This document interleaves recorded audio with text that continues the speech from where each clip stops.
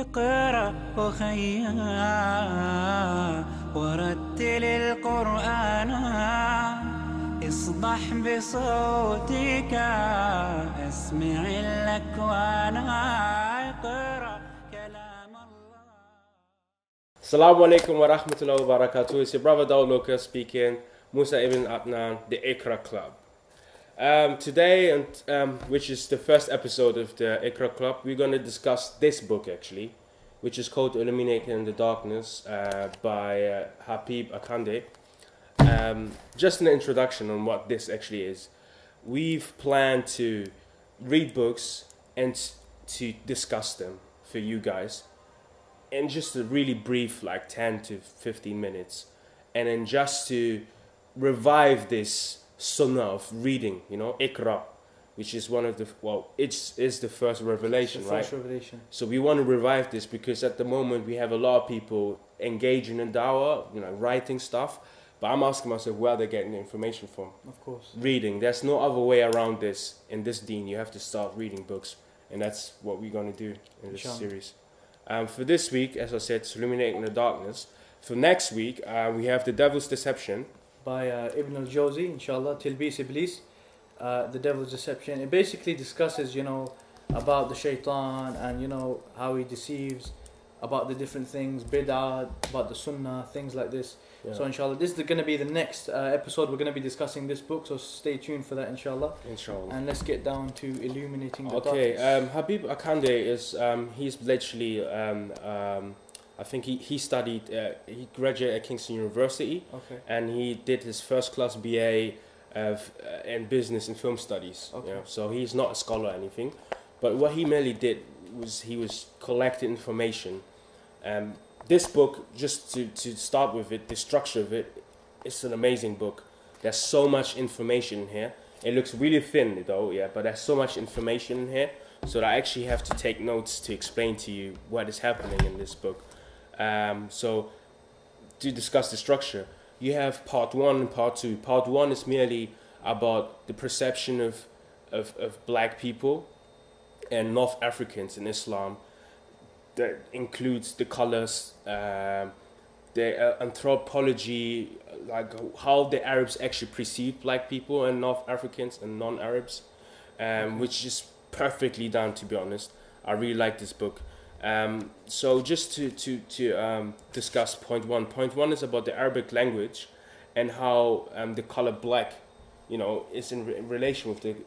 Do you have any ideas? Like, About, have the, you ever thought about this before? about the color black Yeah, the color black. in relation to the Arabic language? Yeah, No, not really. not really. It's so interesting that um, that the color black ex- actually um, the, the root words yeah are saw, wa, and dal, um, and which which has so many connotations actually, and not the way we think it has. For example, um, black is mentioned ten times in the Quran, and three times it's um, related to the lordship of Allah Subhanahu wa Taala.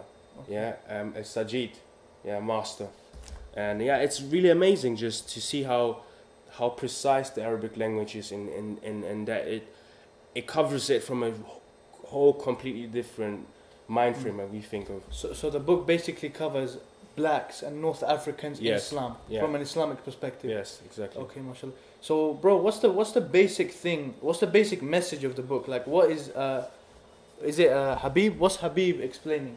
So you know what is so interesting about this book is that he actually takes a lot of um, references from other books that I never could imagine that these classical scholars wrote about it. For example, Ibn Jawzi, okay, Tabari, you know, T- Yeah. The, the historian, um, Ibn Jawzi, um, well, all these classical scholars, right? yeah, Um, and he talks about how history, like Islamic history, and, and, and, and, and just just the perception of black people in general were. Because a lot of people say, you know, this misconception of Islam equals slavery or Islam motivated slavery, you know what I mean? Mm, mm, So that book, the book discusses all these things mm. Okay, and and it, it tackles each point. It's if you would ask me, I would I would say it's more of a historical Okay. like reference book that you can use. So, so how how did the Arabs in general look at you know blacks and North Africans? Oh, that's really interesting. So the Arabs basically they um, the old Arabs actually they would consider themselves as aswad as Okay. black Yeah. themselves because as I said black in, in, in the Arabic language has its complete different meaning. Um, the Arabs, as I said, they consider themselves as blacks, and white people are not considered as white. Someone who's white could be black, technically. Someone who's, okay, again, someone who's white and black could actually be considered white, a white person, because they would say that someone who's white is good in character, is pure in character. Okay. You know what I mean? So okay. they, they don't have that um, social complex of colors, really, because So they would link like the color of your skin to a, a certain like feature. a feature exactly for example um, white people are not literally white right they have like a bit of a red complexion Yeah. so white people the old arabs would c- um, consider them as the red people Okay. you know the roman people were considered as red people right Okay, so that's really interesting and Yeah. just to know about it and just to see how arabs like um, perceived everything like the early muslims and another thing is that okay where does the racism come from then Hmm, you know that's right. so this is as, as, as an, in part one is, is chapter on uh, anthropology and how it, it creeped in into the islamic way of thinking Yeah. um, just amazing that that you have references on that as well. That the story of Ham, which is a biblical story, Hmm. um, that Ham was destined to be a slave. You know, then you have these Greek. Um, even before that, you had Greek um, Greek philosophers. I forgot the name now. Um, he was he had this a, a similar theory that black people are destined to be slaves. So that you know, at, around the 9th, 7th, 8th century, 9th century, some Arab thinkers and writers got that idea as well. It creeped into their belief system without whatsoever, without any um, any um, evidence from from Islam. So that's where it came from. This, this perception of um, yeah of, of of of having black people as slaves or whatsoever. Yeah, Okay. So it's from basically the Roman times and all of these pagan times yeah, that it basically creeped in yeah, to the Islamic world yeah. and it It's basically from the biblical story of Ham. okay from Yeah. the biblical story. Okay. Yeah, Ham, Ham was the son of Nuh alayhi salam Okay. in the biblical context. Jazakallah Yeah. Yeah. So that's basically how blacks were looked at Yeah. from the Arab perspective. Yeah. But now, did you like? I'm sure there's many black people who also had an impact Yeah. on Arab, on the Arab world. Yeah. And does the, does the book cover some of that? That's it's, uh, you know, as I said, this book is a is a f- full whole. You know, it has a whole. It takes a whole perspective on Hmm. on blacks and not only blacks, like Africans in general, Okay. right? And the history that how, how they brought things into Islam. I think. Exactly, and like Okay. so, that's another part, for example, Hmm. that it, um, what's the chapter called, man? It's just a lot, yeah. So you, you can't describe it like in um, two words. Hold on. So um, it's it's basically it talks about like um, elevated um, status of blacks, right, or like black personalities, and it's really chronologically. It starts with their companions, um, all these great companion and Bilal. Bilal, Yeah, Ibn Rabah, Yeah. subhanallah, yeah, um, so many other individuals Hmm. who are discussed in this book, and it just and even Negus, yeah, the the, the Okay. king from Najashi. Nazashi, the king from Ethiopia, Yeah. um, who gave, gave um, refuge to the early To the Muslims. Yeah. There's actually a whole section on him on how he became king, and when he died, and the relation to the Prophet. sallallahu alaihi wasallam. He had a- Basically his yeah, history. Umm Habiba, you know, she was So, married. so in a nutshell, in a nutshell, just just to conclude about Yeah. the book, the Yeah. book is basically covering Africans yeah, from an Islamic perspective, Yeah. talking about people like Bilal ibn Rabah, yeah, Najashi, Yeah. what kind of effect they had on Islam, what Yeah. they did, yeah. their basic history. Yeah, and, and, and what, what what- you know what is so good about this is because it's really scholarly. Okay. It's just not the, the book itself is not. I wouldn't say it's a scholarly book, but the references it used, yeah, it has really well respected um, scholars, classical scholars like Suyuti, uh, Ibn Jawzi, Ibn Jahiz, which is uh, he was himself a, a Abyssinian, a, a black. He, he used to he lived um, in Iraq to- Yeah. um, around the 9th century when there was the Zanj revolt, right?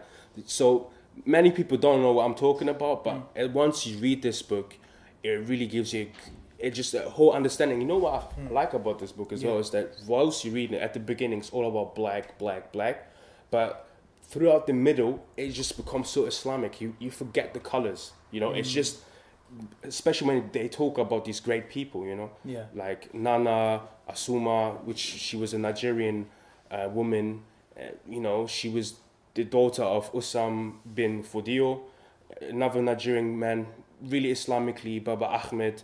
Um, all these names that you know what it's Great so people. great people. And, and they were to, to, to be to be specific, great African people who made an input into Islam. Islam exactly. Yeah, in, and they benefit Islam in great ways. So, bro, I want to conclude and I want to ask you two questions. Yeah. Yeah.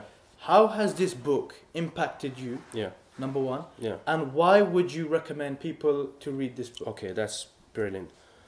First, number one, how it has impacted me. It just, to be honest, not because I'm black, well, Yeah. because I'm black. Yeah. Um, it gave me like a sense of identity, like Mm. like how you know because usually like even when you see lecturers, Mm. it's all about you know Andalusia, all about Iraq, you know, um, uh, Egypt, Hmm. you know, the Abbasid dynasty. This book actually gives you history from a different from perspective. perspective. Exactly, and Mm.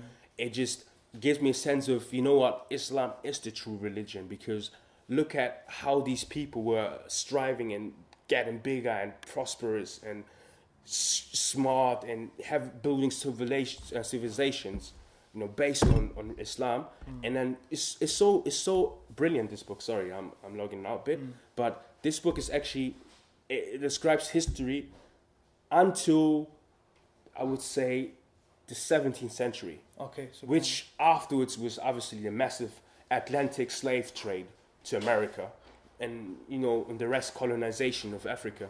So this is just before Africa, and it just shows you how prosperous Africa was.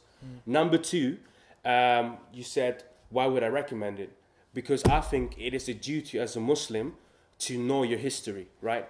And one thing I want to stress on is, I don't just read African history. I read Pakistani history, I- um, Indian history, I, Asian history, anything that has to do with Islam. Yeah, we should know our history, and this is so much important to me as it should be for you, hmm. you know, or anyone else who lives in the Philippines, because that's what connects us. we should know the import that all of the different regions. Exactly, And, and and that there's still knowledge and there's still Islam out there that we can branch out. You know, like places like Timbuktu. You know, there's still so much, you know, manuscripts there up there. So yeah. Okay, assalamu alaikum, uh, brothers and sisters. Um, this is actually that's it for the f- first episode. We've discussed today "Illuminating the Darkness" by Habib Akande. Um, you can order this book on um, what's it called? Amazon. Amazon's and just look in internet. I really recommend you to buy this book. It you know has a strong internal monologue as well. We'll have a link in the description, inshallah. You can Inshallah. you can click it and you can order the book, inshallah. Inshallah, inshallah. And next week we're gonna discuss Ibn Jawzi's um, The Devil's Deception. I keep saying next week. I mean next, i.e. next episode. Um, if you wanna you know keep up with us and maybe just to share with us on the next video and in the comment section. Um, we also recommend you to buy this book, inshallah, on Amazon. So we're gonna put it in the description as well, just to be you know ahead, inshallah. And that's it for today. And yeah, pretty much that's it. Just want to quickly add before we conclude, which before we finish, if you've read a book that's really impacted you or that's really changed your life, I mean, be sure to put in the comment section below. We can look into it, and inshallah, we may Inshallah. be able to review it as well. Inshallah. So that's it. Jazakallah for watching. Assalamu alaikum. That's today's first IQRA Club. Psycho.